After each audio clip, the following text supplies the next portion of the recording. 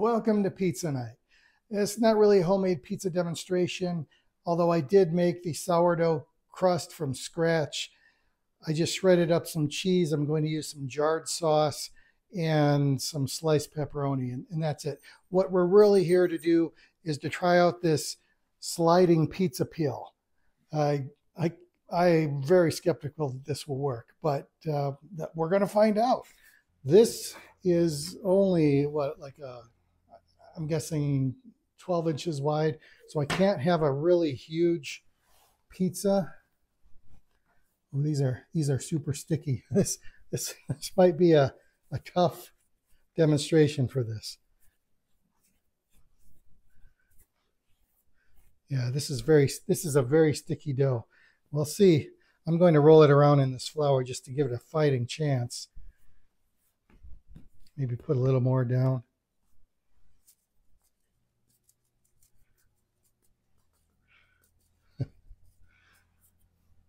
We'll see. And I'm just going to kind of stretch this out to about 12 inches. How are we doing here? And that's about the right width. Let's see if I can make it a little more round. So that, that looks good. That looks like a good circle. We'll see what happens. We are ready to try the sliding pizza peel. It's There's flour on the counter. This should, if this thing works at all, it should slide right on here.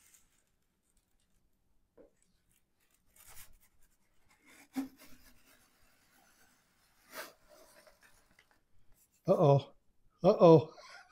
I only got half of it on there. Let me see, let me try it again.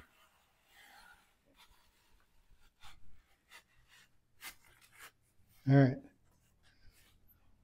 Attempt number two at the sliding pizza peel.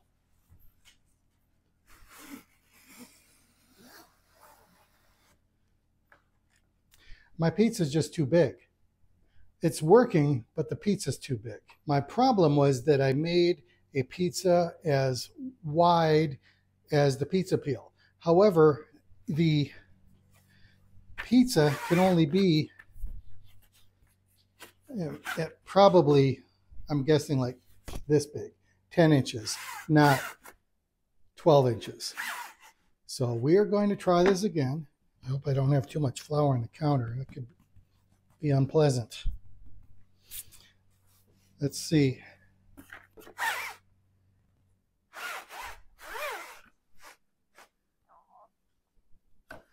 That could be close. That's cutting it close. I don't think it could be any larger than this. All right, attempt number two at getting this on the sliding pizza peel. I have a good feeling about this one. Much better. All right, it, it works.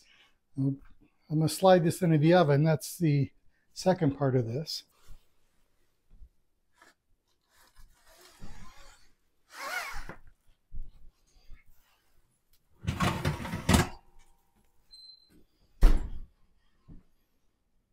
Worked.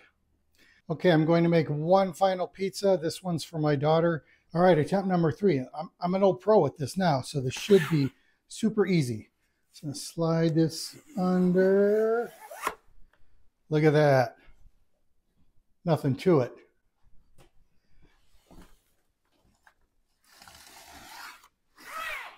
Voila.